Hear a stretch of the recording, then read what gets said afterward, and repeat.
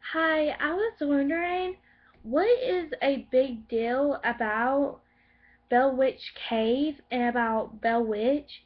I wonder what is going on with that, because this year I want to get frightened out of my pants, okay? And I love going to haunted houses. I love going to weird places. I love going to law places. And I love haunted houses. So, and Bell Witch Cave. I have not been there yet, but I've been hearing a lot of fun things about it. So, comment below and tell me what do you like about Bell Witch Cave and about how her cultural is and everything else. I'm just wondering by that.